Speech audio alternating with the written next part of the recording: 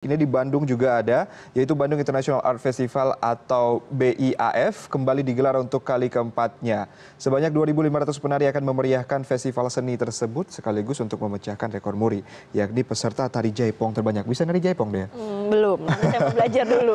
Pemecahan rekor tari massal ini digelar di Car Free Day atau CFD di Dago, Jalan Insinyur Haji Juanda.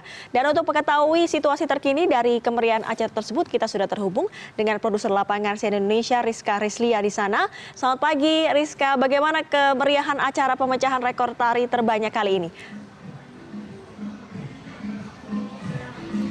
Pagi Dea dan Rian. Ya betul sekali sekarang saya sedang berada di Car Free Day Dago.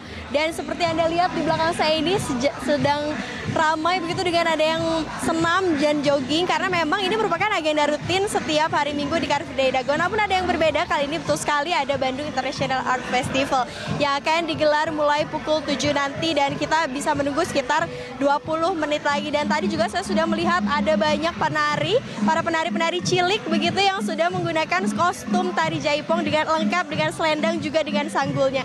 Ada yang melakukan persiapan latihan, ada juga yang melakukan uh, persiapan kostum dan juga ada yang membenarkan make upnya begitu. Dea dan Rian. Baik, uh, Rizka, dalam acara kali ini apakah ada negara-negara lain yang juga ikut berpartisipasi? Ada berapa negara yang kalau Anda dari pantauan Anda berada di lapangan?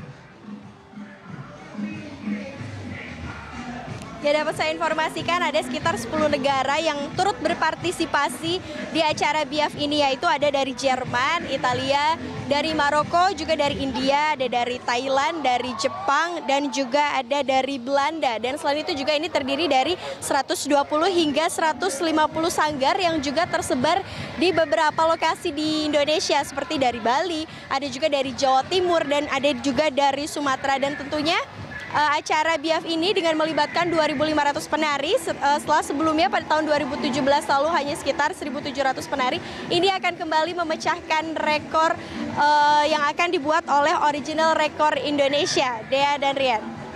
Baik, terima kasih Rizka Rislia melaporkan langsung dari Kota Bandung, Jawa Barat.